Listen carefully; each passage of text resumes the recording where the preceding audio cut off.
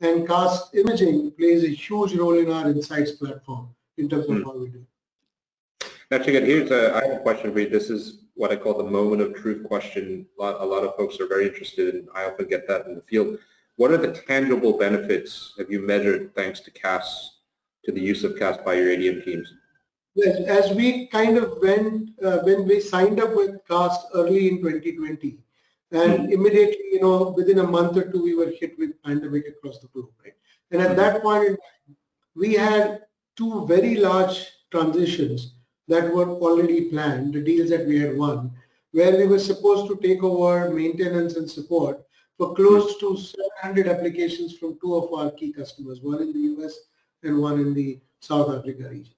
Mm. And that is that was our first sort of moment of truth, so to speak, with CAST, is that we immediately looked at how do we really leverage CAST in uh, shortening the knowledge transition time required for all of these applications so that our people are able to understand uh, what they are taking over in a very short period of time and especially in a situation where they had to take that knowledge from everybody being remote, right? Where earlier you could have been uh, with the incumbent team in the same room and learn from it through interactions, you had to cut down that interaction time given that everybody was remote.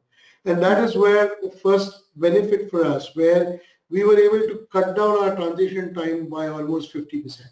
So a hmm. typical five to six months transition for such large portfolios of application, we got it done in three to four months. And we got it done with a much lesser, I would say, pain and friction in understanding of the knowledge and people were also mm. up to speed uh, running uh, quickly. And of course, we've used it in the application modernization solutions as well. So mm-hmm. what, you, what do you see on the slide here, this is the uh, real realized benefit for us, right? Uh, 20 to 30 percent reduction in the efforts on transition, and as I said, 50 percent reduction in the time.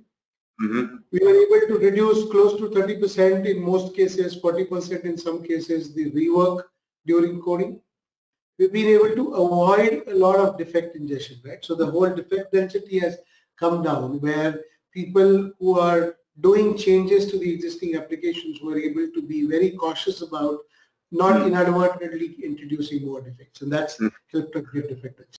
The other piece I talked about in the Canvas Insight, right? What we have done is a lot of knowledge assets that gets generated in, the, in your entire software development life cycle. Mm-hmm. We've been able to sort of anchor that knowledge onto CAST imaging uh, framework. Great, great, very useful, very clear. Thank you. Hey, uh, Rado and Kevin, if I may also invite you guys to the virtual chat here. We do have some uh, Q and questions coming in from the crowd. This one, I guess, Nachiket, you could you could uh, enlighten the crowd here. The question is how then how did your team react to using CAST imaging when it was first introduced to them? A lot of pushback, hard for them to get used to. What, what did you face? What was the reaction? I would say majority of the people were uh, surely excited about um, uh, leveraging something like CAST because as I said, it was a solution that was solving an immediate problem that they had.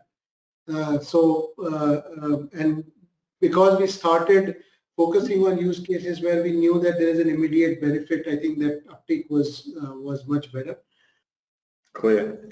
And um, well, the questions are coming in. Uh, there's another one. Uh, how did your developers learn about the applications they were there to be working on before you start using CAST? Is CAST imaging replacing some other technologies, tools, or is it augmenting what you already had? So uh, I would say that we used to have a lot of point solutions plus a manual combination to do what CAST imaging is helping us do today, right? So there would be uh, utilities and solutions by specific technology stacks that either teams would have built themselves or available uh, in the marketplace that does good job of certain technology uh, stack components. And people will typically use that plus document it manually as part of transition, as part of onboarding, or or as part of you know uh, augmenting the teams and use that into knowledge repositories to track it. So it, it's mostly that. With cast imaging coming in, we are able to do that sort of in one place. And most importantly, as I said, uh, we've integrated that in our overall engineering ecosystem so it becomes seamless for all the engineers. Mm. So with that, uh, Nachiket, thank you again uh, for being our guest. Uh, a lot of valuable input and insights uh, from India here. And